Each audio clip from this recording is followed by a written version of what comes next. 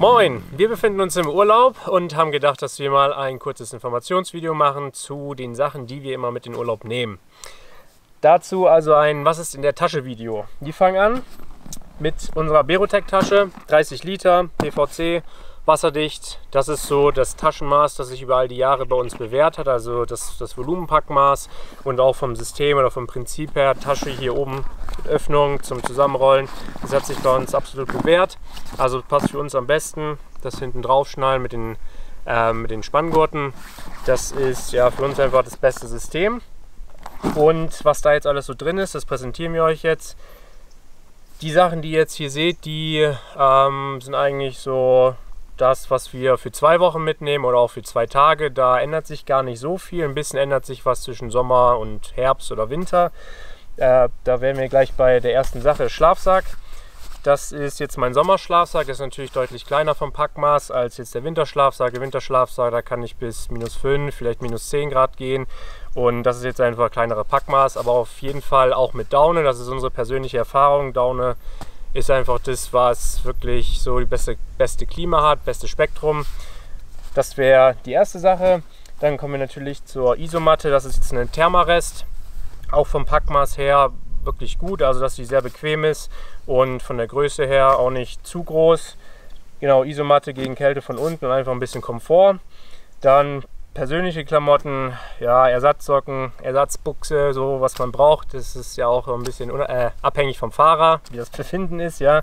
Dann auf jeden Fall noch ein Pullover, wenn es mal abends schattig wird, das zum drunterziehen, haben wir noch mit dabei. Äh, noch ein Ersatz-T-Shirt, äh, das kann jetzt mal ein T-Shirt mehr, ein T-Shirt weniger werden. Dann haben wir jetzt, weil wir ein bisschen länger unterwegs sind, auch noch Regenjacke dabei und so eine Regenhose, also zum Reinziehen. Das kommt natürlich immer darauf an, wo man hinfährt, wie man es abschätzen kann. Und bei längerer Tour ist natürlich die Wahrscheinlichkeit, dass es regnet, auch höher. Dann nehmen wir tatsächlich auch mal Regenklamotten mit. Dann einmal hier Kulturbeutel, auch persönliche Sachen, was man so braucht. Badehose, ganz wichtig, dass man in jeden See in Fluss springen kann, der so unterwegs einem begegnet. Ähm, wir sind ja nicht auf Campingplätzen oder Hotels, deswegen jedes Wasser ist für uns ja eine gute Gelegenheit, sich mal ja, zu waschen. Äh, genau, Handtuch. Und das sind eigentlich auch schon so die, meine persönlichen Sachen. Diese Reihe hier vorne, das sind jetzt die Sachen, die wir zusammen immer brauchen und die quasi dann immer auf zwei Taschen aufgeteilt werden die einzelnen Dinge. Genau, wir haben hier ein Moskitonetz drin. Das ist so groß genug, dass wir gerade die zwei Motorräder links, rechts von uns parken können. In die Mitte auf den Boden kommt diese Plane, dass man einfach ja, aus dem Dreck raus ist, je nachdem wie der Untergrund auch beschaffen ist. Es ist immer ganz schön, wenn man da so eine, seinen Teppich ausrollen kann. Und links, rechts, wie gesagt, die Motorräder und dann kommt das Moskitonetz einfach drüber. Wir haben einfach die Erfahrung gemacht, dass so schön Sternenhimmel auch ist, aber wenn es einfach Mücken abends gibt oder Fliegen, dann ist das einfach eine richtige Pest, wenn man Mücken hat und keine ruhige Nacht hat. Deswegen Moskitonetz ist für uns absolutes Muss, was wir immer mitnehmen. Wir haben ja kein Zelt dabei. Wir schlafen ja mal unter dem 1000-Sterne-Zelt, also dem Himmelszelt und genau, das, das passt für uns eigentlich echt super. Aber Moskitonetz für uns erfahrungsgemäß absolutes Muss. Dann haben wir unsere Werkzeugtasche dabei. Ähm, ja, alles Werkzeug, was man so äh, braucht oder was wir erfahrungsgemäß brauchen. Also zum, zum Kettelnachspannen auf jeden Fall. Ja, verschiedene Sachen. Zangenschlüssel, ganz wichtig. Ein Bitsatz, Imbussatz, Kabelbinder. Ja, verschiedene Kleinigkeiten. Das ist ja auch je nachdem, was man fährt, mit welcher Maschine man wegfährt, kann das noch ein bisschen variieren. Äh, optional so eine Klappsäge. Also wir finden es auch immer ganz schön, abends ein hoppala, äh, Lagerfeuer zu machen. Und da kann so eine Säge ganz hilfreich sein. Das ist aber schon sehr viel Luxus, muss man sagen. Also wir benutzen die nicht allzu oft, aber wenn man sie dann nochmal brauchen kann, freut man sich, äh, wenn man sie dabei hat. Dann ein Pannspray. Wir haben schon gebraucht, sehr, sehr selten, aber wenn man halt irgendwo einen Plattfuß hat, ist es doch gut oder man freut sich und es erspart einem sehr viel Ärger, wenn man Pannspray mit dabei hat. Ist auf jeden Fall auch eine Überlegung wert. Also ja, wir nehmen es mit einfach kann einem helfen und viel Ärger ersparen. Dann Kettenspray, das brauchen wir jetzt für unsere rote Caballero. Wir fahren ja aktuell noch diesen Kettenöler äh, versus äh, Kettenspray-Test. Genau, das muss auch einer von uns mitnehmen. Jetzt aktuell befinden wir uns im Balkan. Da gibt es ja unter anderem genug Straßenhunde. Äh, ja, sogar jetzt sind wir jetzt in einer Gegend, wo es auch Wölfe und Bären geben soll. Haben wir noch nicht gesehen, aber finden wir gar nicht schlecht, hier so ein Pfefferspray mit dabei zu haben. Also da schläft sich nachts auch ein bisschen ruhiger, wenn halt ja, Dinge auftauchen, die unerwünscht sind.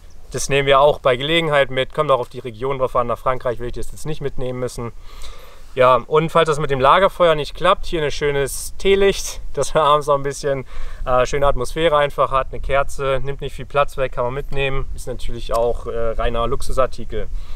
Was auf jeden Fall auch ein Muss ist, ist unser Kaffeekocher. Das ist unsere aktuelle Variante hier.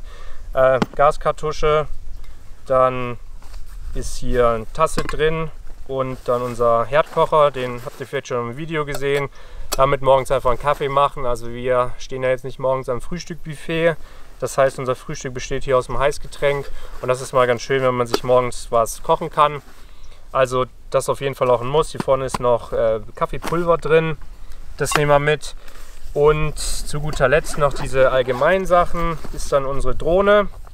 Äh, damit machen wir auch recht viele Aufnahmen. Das ist die DJI Mini 2. Hier in so einem Case drin, wo alles schon so ausgeschnitten ist, dass da reinpasst. Ist von Packmaßen her in Ordnung. Also das geht auch gut hier in die Tasche mit rein. Und die Drohne ist recht gut geschützt. Wobei die jetzt neu ist, muss ich mal ähm, noch beweisen, wie die so auf Dauer die ganze, ganzen Schläge auch in Vibration aushält. Aber damit sind wir gut aufgestellt. Und das sind jetzt wie gesagt die äh, Teile, die wir so aufteilen auf zwei Taschen dann. Dann kommt noch hinzu, genau bei mir, ich nehme noch ein Tagebuch mit, so ein paar Notizen machen. Das ist mal ganz schön, aufzuschreiben, wie der Tag so war, was man alles erlebt hat und gesehen hat. Genau, und das Trinksystem, das wäre noch eine Erwähnung. Das ist jetzt ähm, neu bei mir. Ich habe jetzt hier einen 2 Liter Liquitainer oder Trinkblase, Wassersack, wie man es nennen will, von Ortlieb. Die kommt hinten in die Tasche rein. Und dann habe ich noch zusätzlich eine 1 Liter Flasche, hier so ein ja, Armeemaß oder wie auch immer man das nennen will. Also drei Liter ist für mich so ein gutes Maß, einfach was ich den Tag über brauche, wo ich immer ganz froh bin, wenn ich das dabei habe. Und wie gesagt, diese, diesen Trinksack, Trinkblase, die habe ich hinten in der Tasche drin, da muss ich ja nicht ständig ran. Und dann diese 1 Liter Flasche, die hat auch noch so eine isolierte Tasche dran, die kann ich mir hier außen dann draufschnallen. Die hat so eine Schnellverschlüsse, diese G-Hooks.